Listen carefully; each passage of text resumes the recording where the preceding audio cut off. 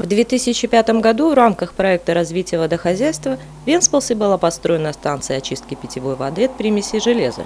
Nu, pirms tam uh, ūdens bija samērā. Раньше вода была не такая чистая. Ее брали из озера Пузы и только частично из артезианских скважин. Приходилось воду хлорировать и очищать от примесей другим методом. Сейчас железо и марганец мы очищаем естественным способом. Просто вода фильтруется через песок. Химия не используется. А когда-то использовали химию, чтобы очистить воду. Такой способ очистки воды не только безвреден, но и значительно дешевле. При использовании химических веществ процесс становится дороже. Если вода наземная, то обработка должна быть больше. Надо уничтожить бактерии, которые имеются в воде.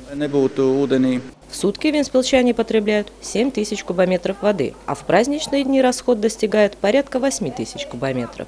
В настоящее время воду для нужд города добывают из артезианской скважины, расположенной в 14 километрах от Венспилса. Школьники во время экскурсии узнали, как происходит процесс очистки воды, встретились с талисманом Удыки капелькой, заглянули в лабораторию. Пробы берутся, чтобы констатировать, что процесс очистки проходит успешно. Анализ делают каждый день, определяют количество железа, марганца и аммиака в воде, а также уровень pH.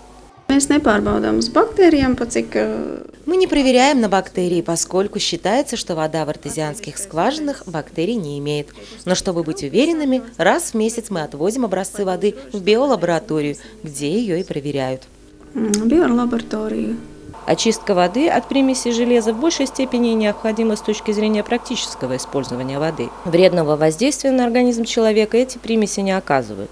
Tas Показатели перед очисткой воды от примеси железа свидетельствуют о том, что вода не вредна для здоровья. Вредным считается показатель 4,8 мг на литр, а у нас чуть больше единицы. Но это не очень эстетично. Вода более коричневая.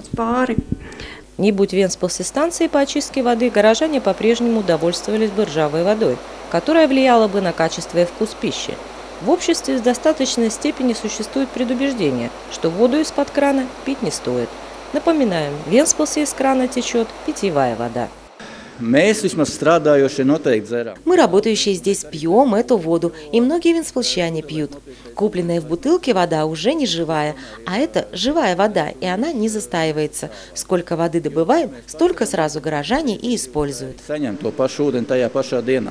На станции помимо руководства и сотрудников лаборатории работает еще один человек, на чьих плечах лежит техническое обслуживание, а также четыре диспетчера, принимающие звонки, касающиеся аварии и неполадок в сетях водоснабжения и канализации. Работу станции очистки воды от примесей железа контролируют три учреждения. Юлия Костенко, Солвета Демонт, Андрей Кулыгин, Курзамское телевидение.